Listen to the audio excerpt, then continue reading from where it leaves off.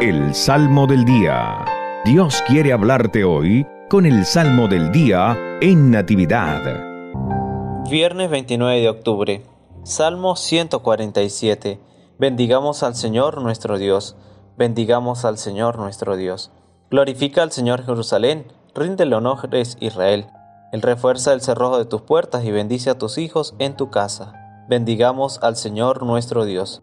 Él mantiene la paz en tus fronteras, con su trigo mejor sacia tu hambre. Él envía a la tierra su mensaje y su palabra corre velozmente. Bendigamos al Señor nuestro Dios. Le muestra a Jacob su pensamiento, sus normas y designios a Israel. No ha hecho nada igual con ningún pueblo, ni le ha confiado a otro sus proyectos. Bendigamos al Señor nuestro Dios.